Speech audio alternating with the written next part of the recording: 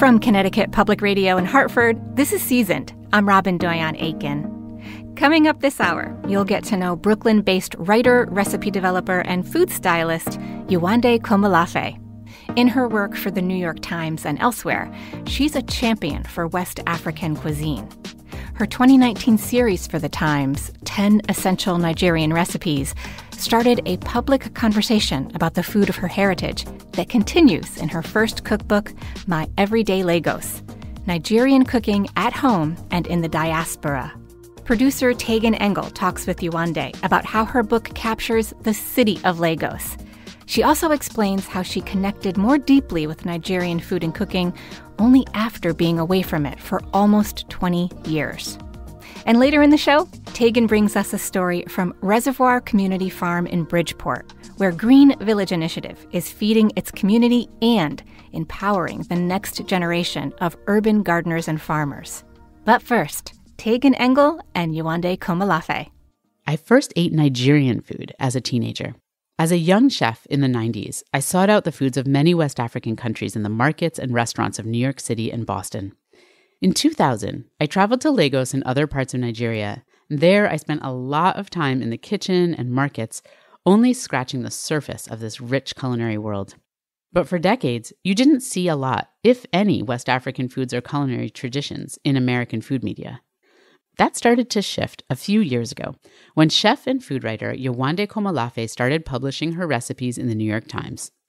I was thrilled to see Nigerian food finally getting the attention it deserved. In My Everyday Lagos, Yewande gives us an incredible guide to Nigerian ingredients and cooking, while also reflecting on her own journey in life and food. I started by asking Yewande to share some of that journey and how it led to her book. I always knew that I would work in food. I was telling a friend the other day, I was like, I feel like if I wasn't working in food, I might as well just be dead. Like that's how strongly I felt. And I've always felt that way, mm. you know? I moved here to the US to go to college. And coming from Nigeria, education, especially in my family, both of my parents went to school. They met in college in Berlin. It was just always known that we were going to go away for university or college. We picked the US because we had family members here. But I moved here thinking that I was going to study food science and be a food engineer because that's what my mom did. And I think that was my first exposure to food as a practice. But I remember coming across the pamphlet for culinary arts school and it dawned on me that I could go to school for culinary arts and become a chef. So the journey to writing this book, I didn't know that I wanted to write a cookbook. I haven't always considered recipes, especially recipes from Nigeria or about West African food. I haven't encountered them in books. Right. Recipes are passed down. It's an oral history. Even in writing this book, I had conversations with my mom. I drew from memory. I watched friends cook. I watched YouTube videos. And so I almost had to be pushed to do it after my recipe started appearing in the Times, I got a lot of interest from publishers. And that was really the first time I was like, oh, I guess I could write a Nigerian cookbook. and that process just took forever. It took about, took almost four years to write this cookbook because I wanted it to be a cookbook that spoke to the energy and the feeling more than precision because wow, yeah. I feel like Nigerian cooking, West African cooking, Yoruba cooking is a feeling. Yes. and I had to feel it to write it.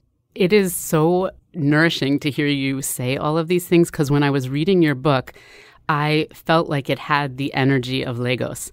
You have the colors, the fonts that you mm. used, but also just the vibe. Like you have the photos, which give real life things, but there's just, mm. I really feel like you captured the energy of the cooking and of Lagos in the book. And wow, it's just amazing incredible. to hear you say that because I was like, you did it.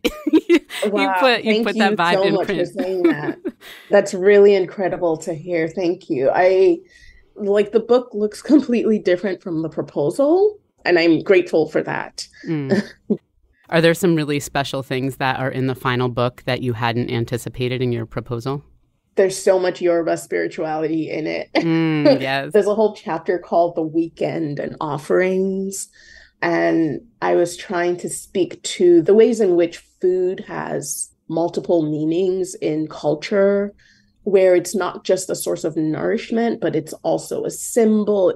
It also carries power. It opens up conversation. There are just so many symbolic meanings of food outside of enjoying it and getting nourished. And I really wanted to add that element to it. In the pages where I talk about the different symbolic meanings of food for baby naming ceremonies, that's yeah. such a beautiful chapter to me because it was something that I did outside of living in Lagos after I had kids. Can you and describe that a little bit? I also did those ceremonies for my children. yeah. Can you talk um, about some of the elements? You have like the obi kola nut and tell yes, us some of the other yes, things and what yes. the symbolism is. So, one of the first times I went back to Lagos after about 20 years, I was undocumented for about 10 years and couldn't go.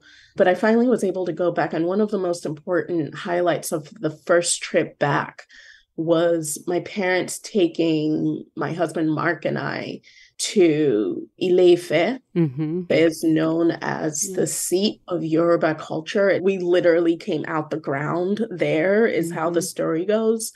And so it's such a spiritual place. It's such a place that holds power and it's such a historical place in Yoruba culture. And, you know, we're walking, touring the King's Palace, and we came to a place where one of the past kings was buried. And the tour guide said, We never say the king dies. We always say the king moves on because the king does not die. He just transitions into another form or he like leaves this body and transitions. And it hit me then that at least since my brother passed when I was 17, I've always thought of death in that sense.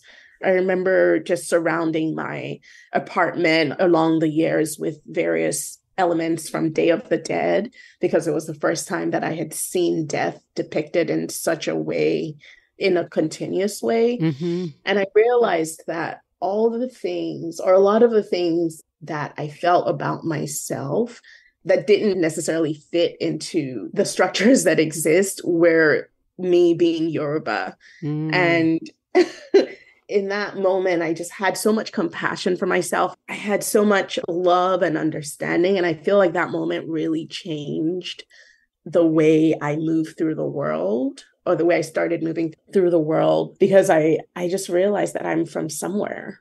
It's so interesting to say that because I grew up in Nigeria. I didn't really have the experience of not growing up around the culture. I like I inhabited the culture. It was part of me. I grew up in it, but there was a disconnect after moving here and after experiencing the 20 years apart from Lagos. Yeah. But going back to my book, knowing this, it just emboldened me to not fit in the structures that existed. Yeah, I see yeah. that you took so much bravery in how you did this book to really show up as your full self and say like I'm going to yeah. just do this and yeah. thank you for sharing that that homecoming connection with Ile-Ife. I can just see mm-hmm. how that has like set you on this trajectory and I'm so grateful for it. The book is centered around Lagos. I'm wondering if you could paint a picture for us of Lagos, like the sounds, the smells, mm. the vibes, so people can get a sense of why you rooted this book there. Lagos is such a special place. It's a port city, so it's right on the water. It's always been like an entry port and a seat of trade. And so Lagos is special in Nigeria because there are different port cities like that. There's also Port Harcourt, that's similar, but it's special in that sense because you get elements from all across Nigeria in Lagos. And the reason I decided to center the book in Lagos is not only because I grew up there and it's a part of Nigeria that I know the most and my family my on my maternal side is from Lagos. It's just got this energy that's hard to describe and hard to understand except you experience it like I wake up in the morning and I'm immediately surrounded by sound and buses going by and people yelling and you know the colors is is another thing the food like I felt like my senses were just lit on fire the entire time I was there when I went back for mm. the first time um, yeah. after a yeah, while. Yeah. You know, beforehand, I, w- I had been running these dinners, my immigrant food is, and I was telling the story of something that I remembered. And then I went and encountered it again. And I was like, oh, I need to up the ante here. Like, I need to, like, you know, like yeah. everything needs to be at a hundred. Right. Like the flavors, the colors. So I came back with so much fabric and I would cover my apartment in fabric, just different colors. So just trying to bring in the element of the people and the energy that they bring to Lagos. The markets are bustling, the traffic, the traffic is oh my goodness, so the go slow markets. Yeah, the go, slow, in oh the oh traffic God. where people are walking. There's yep. the traffic just stopped and people are walking just, between yes. selling things. Yeah. You know, and, and people are almost unafraid of cars there. I tell this story where when I first moved here as a seven as a 16 year old, I thought that the horns in American cars didn't work because ah, nobody yes. Yeah. There's a whole communication system with horns and cars in Nigeria. Yeah. It's a oh, whole other and, thing yeah and i was like you go outside and that's the sound you hear of like car horns or like motorcycle horns right. or bicycle horns or people yelling and so it's just got a vibrancy that's hard to bottle up i think new york comes really close but it's different in the way that if you are encountering lagos for the first time it's hard to know where there's no direction. Yeah. you know? Yeah. It's you just pick a lane and run. that is a great description. Yeah. And it's night and day. You have your night mm-hmm. markets, your day markets. And... Exactly. Yeah. There's like yeah. an energy for the night and an energy for the day. Totally. Yeah. So I'm curious about this time, you know, you had these 20 years here where you couldn't return to Nigeria and mm. luckily your parents came to visit you. mm-hmm. And I'm wondering mm-hmm. about what were the foods that you missed most during that time? What did you request for them to bring to you and cook for you when they came to visit? I always wanted my mom to make efo riro. Um, yes. and that's the vegetable soup or stew, as we call it, the vegetable stew that's got a bunch of greens, it's got smoky flavors and chilies, and the base is our obe which is like our base sauce made from tomatoes, peppers, onions, and some chilies. But yeah, I would always request my mom to make it because she would make it so dry. I love it dry because I love to put stew, our red sauce on top of it the ones that I had here were never dry enough. Like she would squeeze every single drop of water out of the spinach or whatever green vegetable she was using.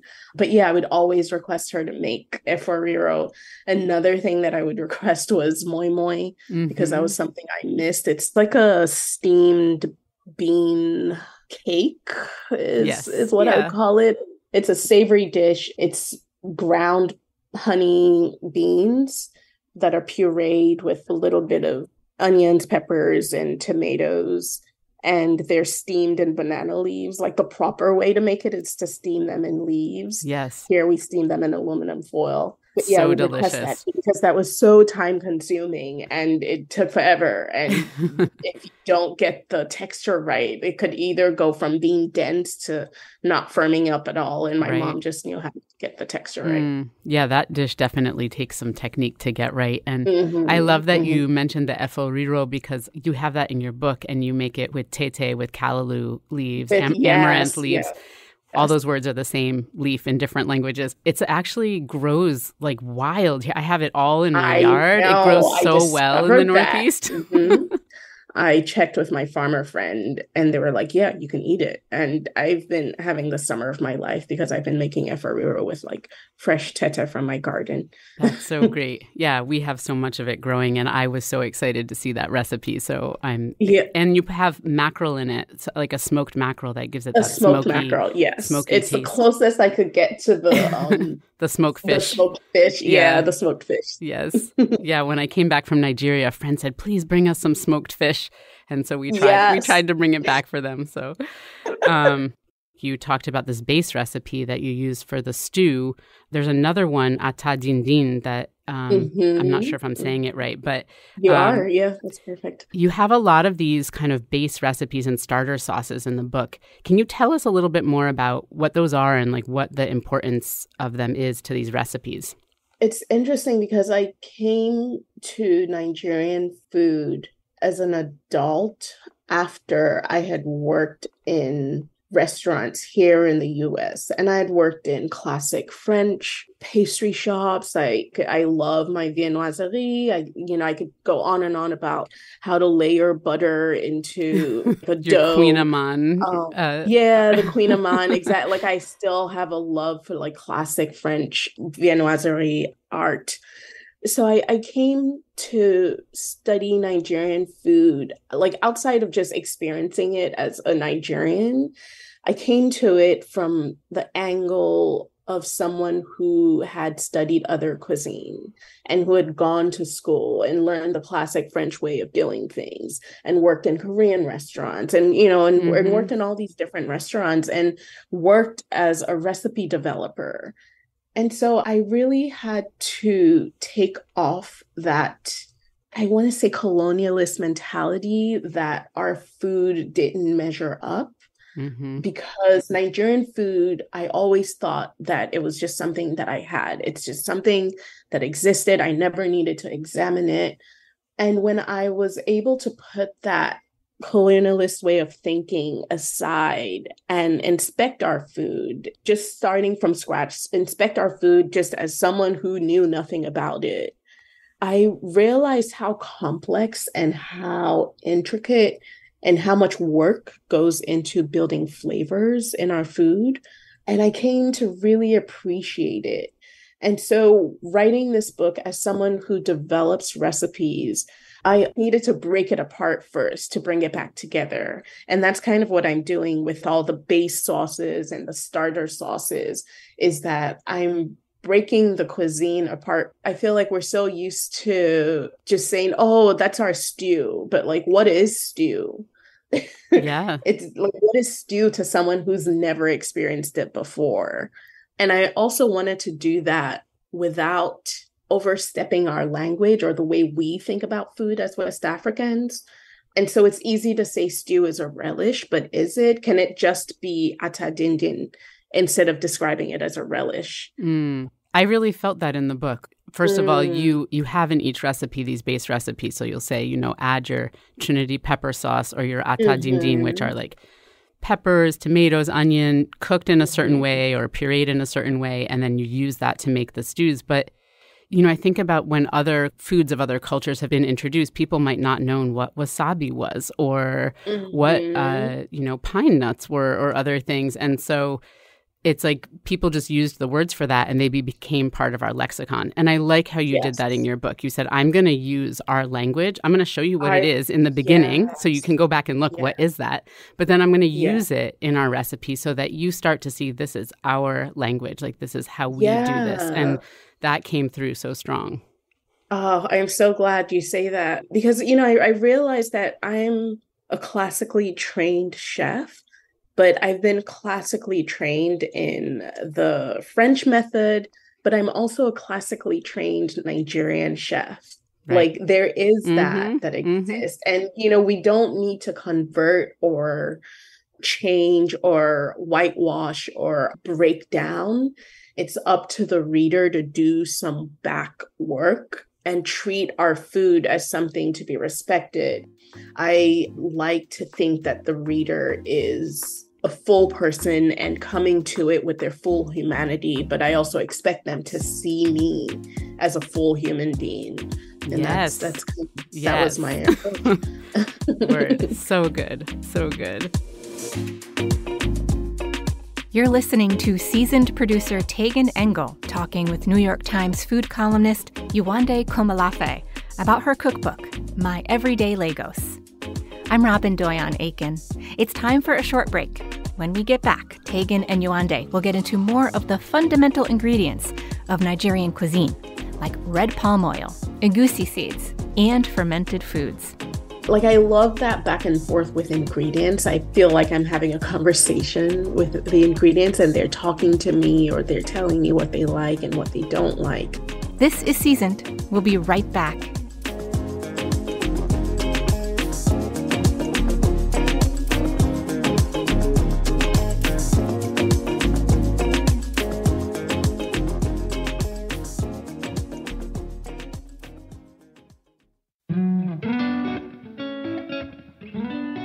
Welcome back to Seasoned, everyone. I'm Robin Doyon Aiken.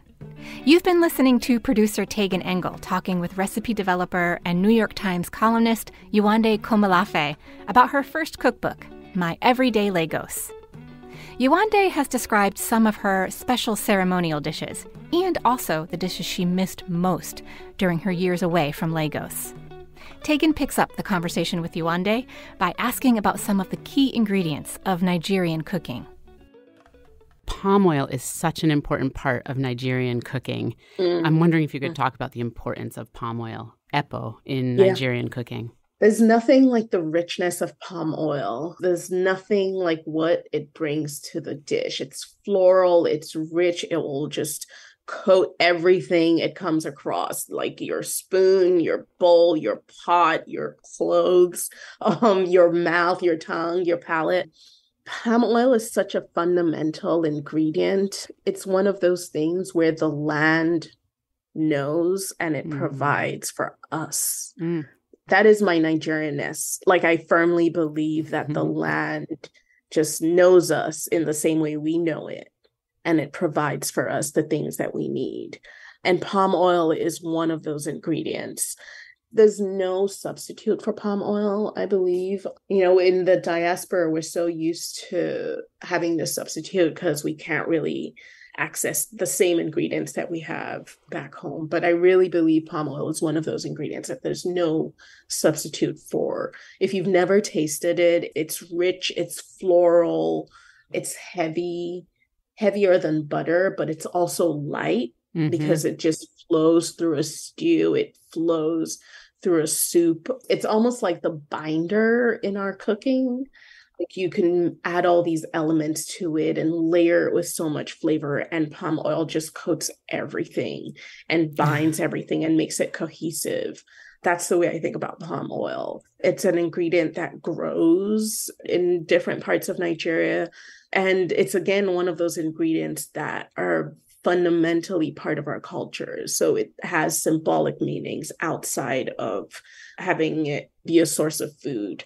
It's used in baby naming ceremonies, it's used at weddings, it's used in different rituals. Yeah, it's yeah. it's a star ingredient. It is 100%. And I always love when I'm buying palm oil, it's red palm oil and I always get it at either Caribbean markets or West African mm-hmm. markets, and I look for the palm oil that comes from West Africa because from, yes, it's indigenous yes. to that place. It's usually yes. harvested sustainably, and yeah. then we're getting it from the source. And that's, you know, people have concerns about palm oil, but if you get it from West Africa, you're doing good.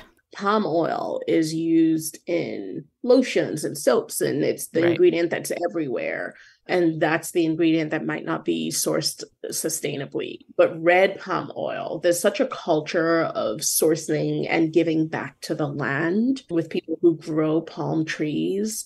For the longest time, we couldn't get it here because it's just not available to leave the country that we, we use so much of it, you know? Yes, I could get um, that. Yeah it's not necessarily an industrialized product in the way palm oil is. Red palm oil is completely different. Right. So I thought we could talk about swallows and draws. So they're such mm. fundamental categories of food in Nigerian cooking. Can you talk first about swallows? What are they? How mm-hmm. do you mm-hmm. eat them? How do you make them? Swallows are a starchy base. I think of them as a vehicle yes. for soup. Yep. and they're basically our the starch element to most of our dishes. Swallows can be made from yam, it could be made from cassava, it could be made from plantains, and the original ingredient could be in any form. So you could use whole ingredients to make swallows, which is where like pounding your yam comes in with the modern pestle. You boil yam or plantains or cassava and you pound it with a modern pestle. But it can also be made from dried powders, which are the same ingredients. So it's the same yam that's been dried and milled into a flour, and you can make your swallow from that. And swallows are typically neutral in taste. There's slight distinctions whether they've been fermented or not. So there might be a slight tang to it sometimes.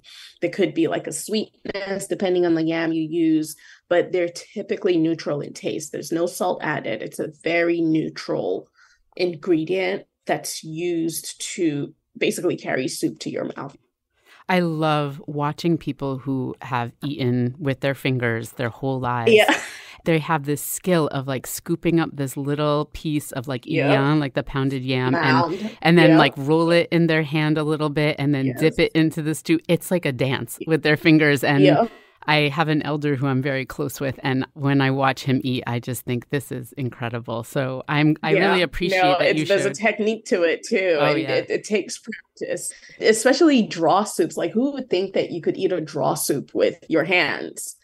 yeah, so tell people what But- are draws. This is a probably Yes, unfamiliar term to a lot of folks. So there's this element to our food, and the best way to describe it is like an el- elasticity. hmm And so I think of when I say that, I think of ingredients like okra and ewedu, which is a leaf The jute um, leaf. that's got yeah. the same element as okra does.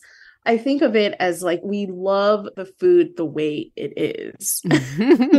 you know, the food is presented exactly how it is.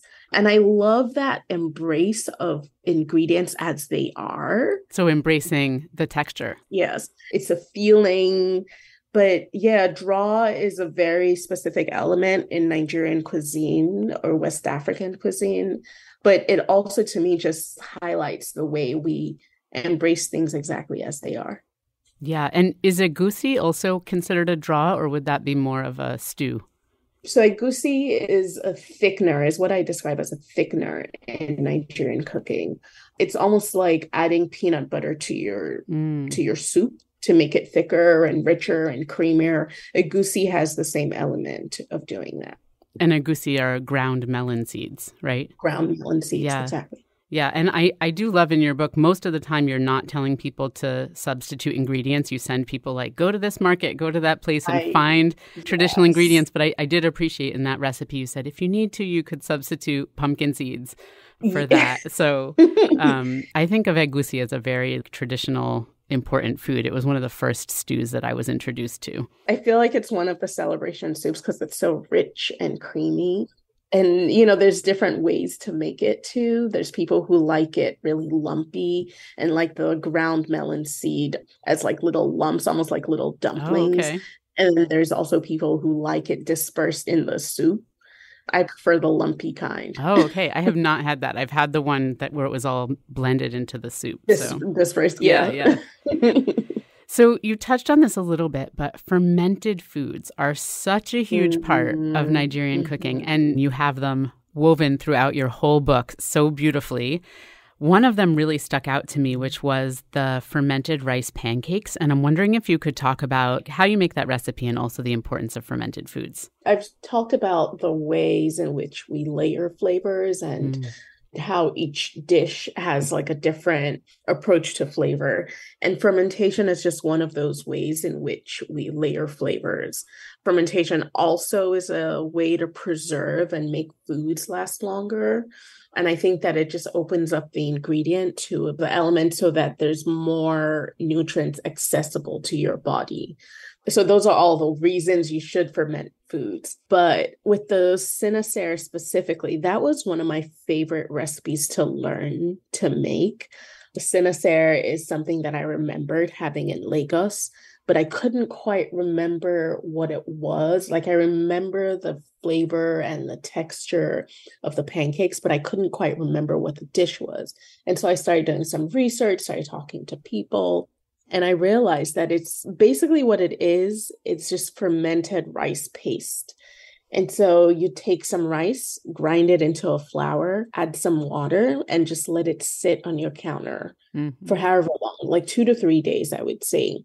If you're going for more flavor and more acidity, you could do it longer. But yeah, Sinasir is made from fermented rice paste. It is basically uncooked rice and water. Yeah. and those are the two ingredients, which is wild to me that you could have such like a varying texture and flavor with two ingredients. I believe in my recipe, I add a little bit of salt and a little bit of sugar just to highlight what's already there. But Sinasir is something that I learned to make in the pandemic. It's something that I made with my daughter while she was teething and just wanting something chewy yeah. to like snack on. And learning to make that was such a process for me. I love the back and forth with ingredients. So I remember the first time I made it, the batter was way too loose mm-hmm. and it just kind of crumpled up in the pan. And so I learned from that and made it with less water, a little thicker. Like I love that back and forth with ingredients. I feel like I'm having a conversation with the ingredients and they're talking to me or they're telling me what they like and what they don't like when I develop recipes, it's always with something in mind. I'm like, I want that specific flavor and that specific texture. And I kind of work backwards from that. And so with Sinasir, it was a lot of working backwards because I was trying to create this very specific memory that I had of a texture and a flavor and so it was just a lot of back and forth with the rice and water. Like yeah. how much should i put? How much should i like how much should i take away? Oh did i add too much salt? Did i add too much sugar? But yeah it was just a, a back and forth with ingredients. But Sinasir is one of my favorite recipes. It's a fermented rice pancake is essentially how I, like a skillet cake right. is describe it. You've been outspoken about your experiences as an undocumented immigrant and also the responsibility of the restaurant industry in this country to do better. And mm. can you talk about what are some of the steps that you think need to be taken to support undocumented workers who are the mm. backbone mm. of the restaurant and food industry? You know, at the end of the day, it's a policy thing and it's not just restaurants. Right. It's it's the society at large. It's That's the right. governance, it's the laws.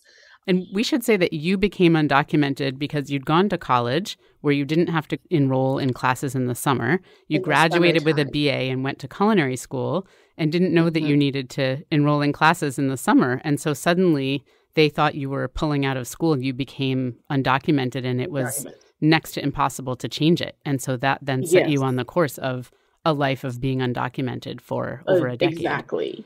So I felt at that time that it was important for me to be here. And, and I was also 21. So I made a decision that affected my life at 21. But in some ways, restaurant provided a refuge mm. because it was somewhere where I could work. It was somewhere where I knew there were other people just like me. I felt less alone. Like nobody was asking to see my papers. It was just like, you want a job? Then come work and so, in that way, it provided a refuge. But I also know that my story is not the typical story told. When I was undocumented, I didn't hear a lot about Black undocumented immigrants. Right. And whenever I read a story about someone moving here and quote unquote making it in the American sense, it never told the story of how they got here, how they sorted out their paperwork. Mm-hmm. It was like, oh, this Nigerian person moved here and is now a medical doctor. Right. And it's just like, wait, what? Like, there's a whole part of the yes. story that's gone untold. Right. Yes. Which is the reason I started talking about my experience and talking about being undocumented because I think I needed people to understand that undocumented immigrants, we all look very different. We come from different parts of the world and we have different stories. It's that like bite size thing where it makes a story very compact and easy to digest. But I'm like, no, these stories are nuanced. These stories are complicated. These stories don't always have a storybook ending. And so that's why I started talking and speaking out about my own process of being undocumented and exactly how I was able to fix it. And you know, it's it's also crazy to me that the only way that I could fix it and that's me fixing my own personal story, not the broken system. The only way I could do that was by getting married I think it puts people in such vulnerable positions. I got lucky because I actually got married to someone who I love and who I'm happy to build a family and a partnership with. But just imagine the position it puts a lot of people in vulnerable positions. I don't know what the fix is. Yeah. As someone who's gone through that, I can say that going through that, it's important to humanize these stories. And I think that's why it's important to add nuance to them and not just flatten people's stories because that's right. these are not illegal aliens or undocumented people. These are like human beings. Right. What was also crazy to me was that when I finally got my green card, it just it was this green thing, this green plastic thing in the mail that now said I could travel and I could be here legally. You know, what did that mean? I think I'm still undoing the harm that I lived with and the trauma of it all. And I'm, I'm still trying to make sense of it that it took one person for me to interview with with my partner and that person approved us like mm-hmm. what does that mean you know, it's a broken system. And I think it goes way beyond the restaurant industry. Yes. Thank you so much for sharing that. Recently, you've been writing for the New York Times, and you are not just confined to one cuisine, but you write about both savory food and pastry and across many cultures, including Nigeria. Mm. What are mm. some of the factors that go into deciding what recipes to represent in print? you know, when I took the job at the Times, and even when I started just consulting as a freelancer for them, I was desperate to see recipes and stories about food that reflected me going through the restaurant industry here in the US and working in magazines and print and test kitchens. I just never really saw my food or food that I recognized from home given the same treatment as French food or Italian food or any of the European foods. And I was desperate for that treatment. I took the job at the time because I wanted to speak directly to an audience that I knew was there. I want to write directly to West Africans and mm. Nigerians mm. and just people from the continent in general. And I want them to also have that opportunity to see their food in the pages of the Times and not in a way that's like explaining it to them or trying to whitewash it. I just want it to be exactly what it is, kind of the way we present ingredients in Nigeria.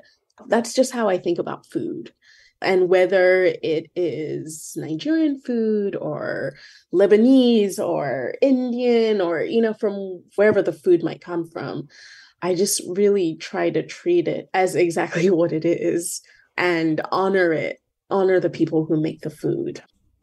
Well, thank you so much for your approach to this work, for how you are capturing story and food and culture and memory through your recipes and your writing.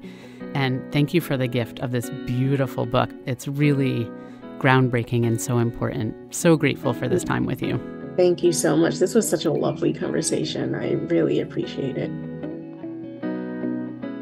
That was Yewande Komolafe, author of My Everyday Lagos Nigerian Cooking at Home and in the Diaspora.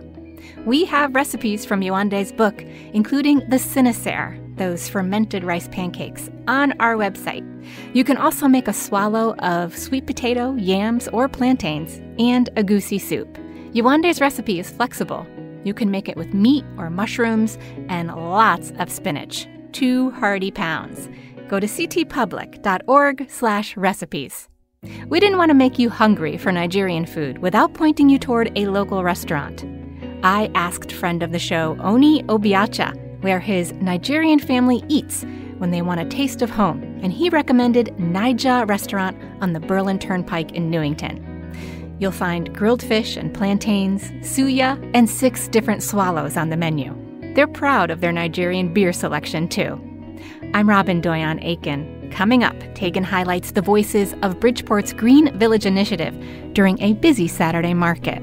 She talks with organizers, a trainer, a chef, and teenagers who are learning to become future food justice leaders and urban farmers. It gets you in touch with nature. You can learn how to grow stuff. You get a lot of knowledge. You're listening to Seasoned on Connecticut Public Radio. We'll be right back.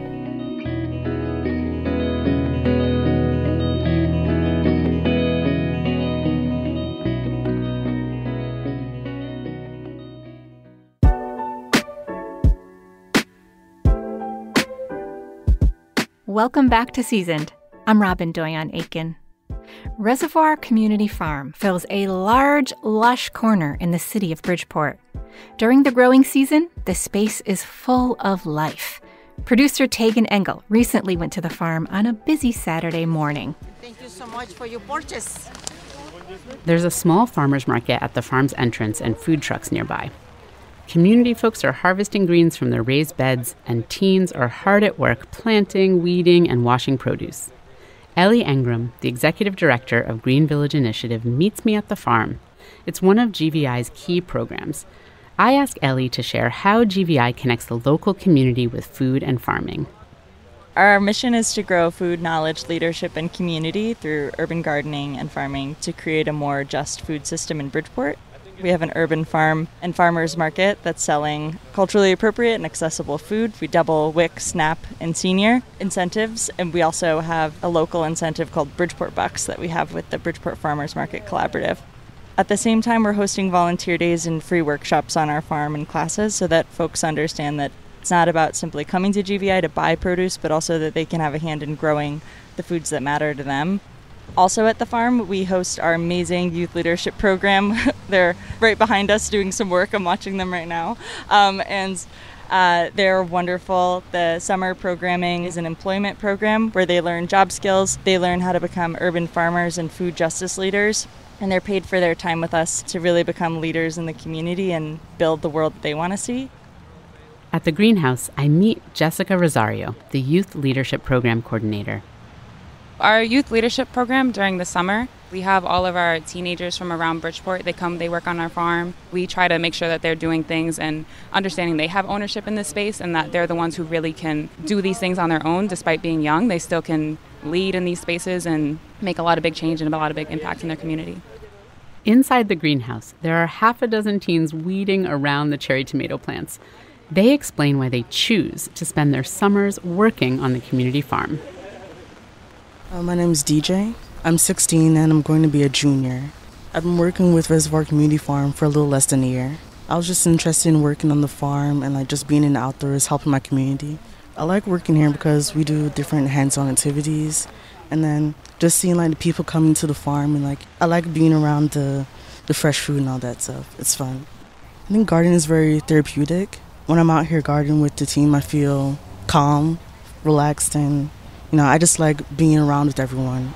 My name is Chris. I'm 16 years old and I'm a senior. I've been volunteering here since like I was in fifth grade. I mean, I love that community. I love how it brings people together, and it's a peaceful place. It's a calm place, and I love sharing that with others. Uh, my name is Shemaya. I'm 16 and I'm a junior. Um, the things I like on this farm is that you get to grow your own food and help people around the community by like everyone getting equal and affordable food that is healthy. Working here, I feel more active, basically giving my body a really good exercise. When school starts again, I feel like I've done something this summer. It's very nice because we have fun and laugh and enjoy the things we do on the farm. My name is Zayne. I'm 16, almost gonna be a junior. I worked here last year, and after that, I started volunteering here. We basically maintain the farm. We plant seeds. A big part is weeding because we can't have plants that we don't like where the beds stealing all the nutrients that the plants we're growing need. Saturdays, there's volunteers. We could help them. There's people who come to the farm stand to buy food. What I like about the farm is it makes you feel welcomed. It's a part of the community. It gets you in touch with nature. You can learn how to grow stuff. You get a lot of knowledge. And yeah, just the people here, they're very nice. If I'm down and I know I have to go work, I'm gonna go to work. 95% of the time, I feel better. So it gets a lot off your mind because it's not just working, it's like mind and body health. So that's very good. I'm a people person, so I like to talk to people, ask how they're feeling, interact with them, whether it's good or bad. Because you might have some bad days, but on the farm, like I always look forward to the good days. It warms my heart to hear these teens expressing feelings of belonging and purpose here on the farm. This is something that every urban youth engagement program wishes for. The delicious smell of garlic lures me into the crowd of folks gathered around a pop up kitchen. I see my dear friend Chef Raquel Rivera of A Pinch of Salt cooking up a storm with some teens, and I ask them what they're making. We have some sauteed radishes, right? We have radish tops, we have kale, we have some red onion and some garlic that's going over some quinoa. And then I'm gonna slice up some radishes that they just picked yesterday and add that to the mix. The Farmers Market Collaborative hires me to do cooking demos at each market to showcase what is growing and to give people a taste and an education on what to do with the items that they're picking up. Culture is such a big part of our identity, you know, so it's about taking something that's familiar and then introducing something that isn't so that we're open up to not just change radically, but in a way that it makes it feel that we can trust the process the reason why that's so important is because a lot of us, especially as brown and black people, we have a lot of high salt, uh, cholesterol, a lot of health issues that are extremely important. And so, if we can make small changes leading to bigger change that might influence our health that much better, it's important to kind of get that education out there.